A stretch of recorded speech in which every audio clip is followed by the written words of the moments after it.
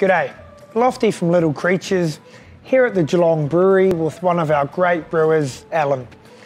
Now, cool winter nights are almost upon us, and that means it's time for our annual winter seasonal stout.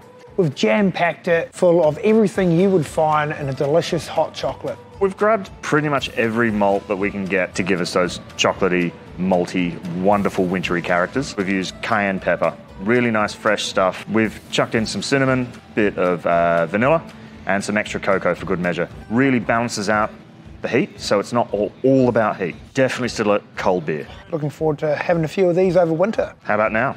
Oh, thanks, mate. Cheers. Cheers.